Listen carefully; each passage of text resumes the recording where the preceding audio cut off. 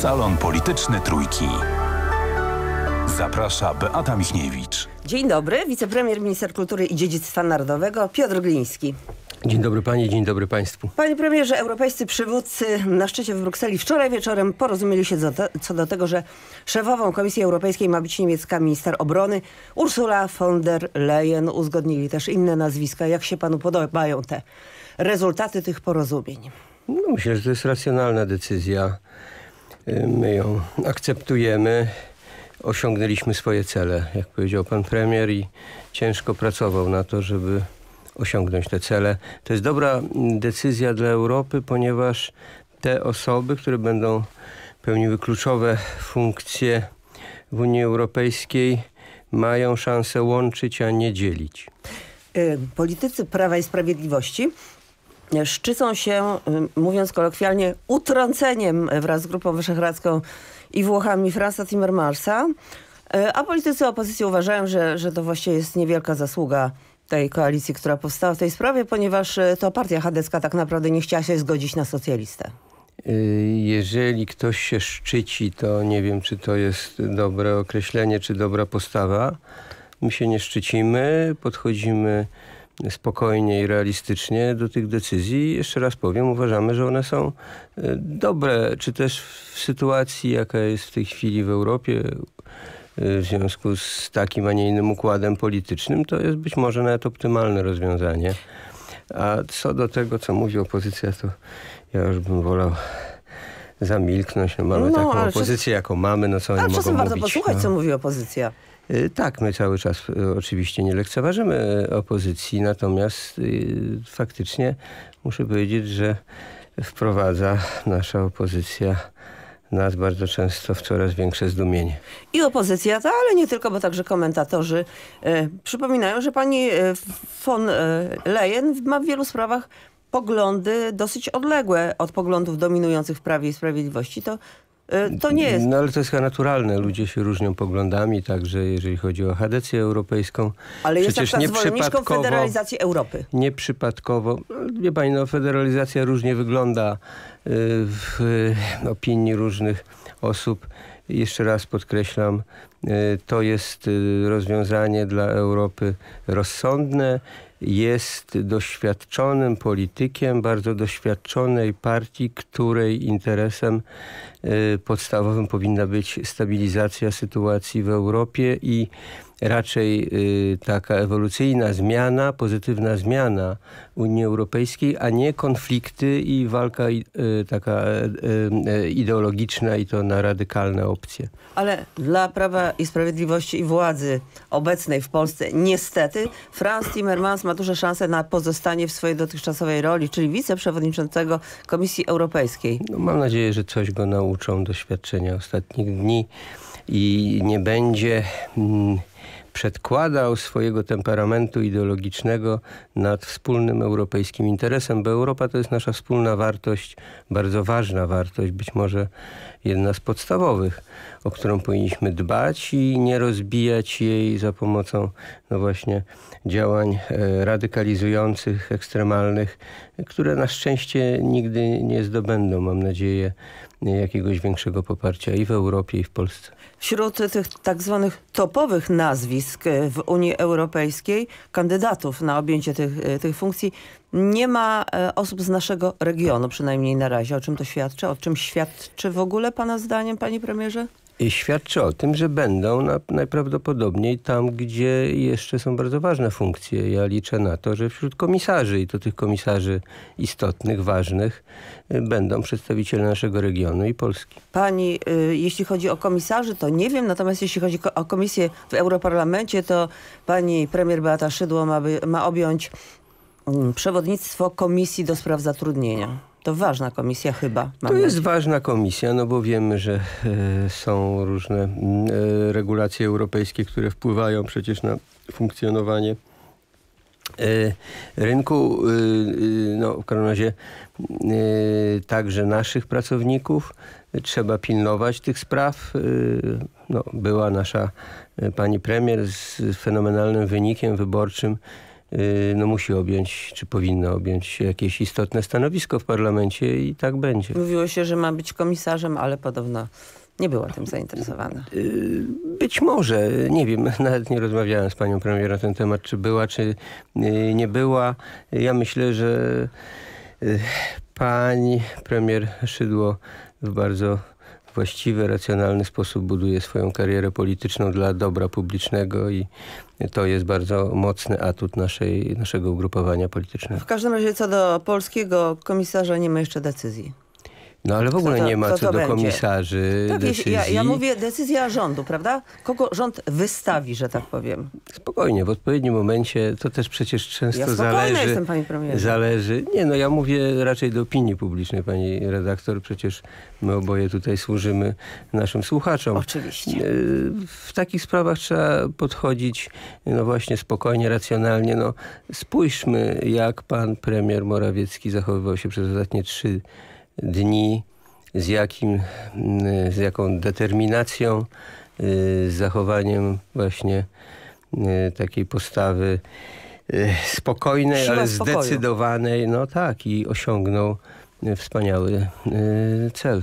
Panie premierze, jest pan szefem Rady Programowej Prawa i Sprawiedliwości i od pana wystąpienia ma zacząć się w piątek konwencja programowa Prawa i Sprawiedliwości. Co będzie sednem tego wystąpienia? Co będzie najważniejsze na tym kongresie? Bo rozumiem, że jakieś, jakieś sedno będzie. Co innego moje wystąpienie, co innego kongres, bo to nie jest tak, że przecież moje wystąpienie jakoś No tak, determinuje. nie, nie powie pan tylko determinuje. witam państwa, panie, panie i panowie. Yy, Tylko Po pierwsze nie mogę powiedzieć wszystkiego, co No, chcę powiedzieć. Natomiast nie, no jest oczywiste, że y, ta konwencja programowa, mówiąc poważnie, y, to jest zdanie y, relacji społeczeństwu z tego, co robiliśmy przez ostatnie 3,5 roku, czyli z realizacji naszego programu. I tu mamy chyba mocne argumenty, ponieważ zdecydowana większość naszych zapowiedzi została zrealizowana, ale także będziemy mówili, być może w jednej trzeciej, tak mówiąc ogólnie, e, o e, zamierzeniach na przyszłość, o planach, o propozycjach na kampanię wyborczą i na ewentualnie, jeżeli Bóg da, a społeczeństwo polskie się także do tego przychyli, na, następną, e, na następny czas. Czyli już będzie jakiś zarys programu, ponieważ zarówno pan Tak. premier e, Jacek Sasin, jak i pan później na, na śniadaniu prasowym mówili, że no będzie jakaś burza mózgów i dopiero później będzie tworzony na tej podstawie program. Ale to tak na ogół jest, tak też było, jak Państwo pamiętacie, 4 lata temu. My przedstawiamy pewien dorobek programowy. W tym wypadku także e, ten e, dorobek e, polityczny e, zrealizowany i realizowany. No bo jesteśmy w tej chwili opcją e, rządzącą, wtedy byliśmy w opozycji i w oparciu o to także będziemy wykazywali nowe kierunki programowe. One będą już wskazane w Katowicach w Zarysie, a zaraz po Katowicach e, będziemy przygotowali konkretny program, także będziemy na kampanię jesienną, czy tą, która się rozpocznie pewnie po wakacjach, przygotowani w, w odpowiedni sposób. A to będzie program na kampanię i na ewentualne kolejne 4 lata, czy bardziej długofalowy także, odpowiadający na, na Będą różne wyzwania na pewno w niektórych przecież obszarach, jak energetyka, jak gospodarka, ale także Klimat, i bo wielu, wielu, wielu jest. innych sprawach. Specjalistyczny jest, jest oczywiście środowisko jako sesja e, główna, bo e, mamy 16 sesji głównych, czyli takich sesji na, plenarnych, na, które będą przedstawiały podst podstawowe działy gospodarki, społeczeństwa, y, tym, y, czym partia polityczna musi się, czy powinna się zajmować, a oprócz tego 70 paneli specjalistycznych w bardzo wielu różnych dziedzinach, więc tak to będzie wyglądało. Tak będziemy także w niektórych obszarach mówili o bardziej długofalowych zmianach, to jest oczywiste. A jaką pozycję na liście spraw ważnych mają właśnie te sprawy związane z klimatem? Pytam o to, bo poznaliśmy się bardzo wiele lat temu, kiedy pan badał kwestie ruchów, y, y, To które się prawda, tworzyły tak, wokół spraw klimatu, środowiska, ekologii i tak dalej. Ja badałem jako Więc chyba to jest bliskie panu. Badałem to jako socjolog, ale także i uczestniczyłem No w tym właśnie. ruchu jeszcze w latach 80. i trochę później. Więc jest mi bliskie wciąż i mniej więcej yy, wiem, jak to wygląda. Tak, to są istotne rzeczy z dwóch powodów. Po pierwsze dlatego, y, że te y, kwestie wpływają na funkcjonowanie społeczeństw, na gospodarkę, y, a po drugie, że są one w tej chwili no, bardzo modne, czy też no, faktycznie zajmują jedno z pierwszych miejsc, jeżeli chodzi o przekaz medialny, o komunikację. A czy będzie kwestia omówiona repolonizacji mediów? Też ostatnio jest bardzo modna w dyskursie publicznym. My nie mówimy o repolonizacji, my o mówimy raczej jeżeli o dekoncentracji. My nie ukrywamy, że mamy e, przecież od dawna przygotowane pewne projekty, ale one czekają na swój polityczny y, czas i one Jeszcze muszą być... Nie, nie nadszedł. One muszą być uzgadniane z naszymi zagranicznymi partnerami, no bo jest faktem, że ta dekoncentracja y, jest związana także z własnością kapitału w niektórych segmentach medialnych. Ja chciałem tylko powiedzieć Czyli będą dwie rzeczy uzgodnienia, bardzo a nie jak ważne. to się mówi kolokwialnie na rympał. No, oczywiście, że będą uzgodnienia, tak jak to w racjonalnej polityce muszą być. Ja chciałem powiedzieć dwie rzeczy bardzo ważne. Kwestia dekoncentracji mediów jest ściśle związana z wartościami e, europejskimi. E, e, Wartości europejskie podkreślają bardzo wyraźnie, że sektor medialny jest sektorem wyjątkowym. Z uwagi na swoją rolę w polityce, w kształtowaniu świadomości, e, opinii publicznej, to jest bardzo wrażliwy sektor, gdzie musi być zachowany pluralizm, gdzie musi być różnorodność zachowana. Nie wszędzie w polskich segmentach medialnych to mamy zachowane. Panie premierze, co 1 września będzie się działo na Westerplatte?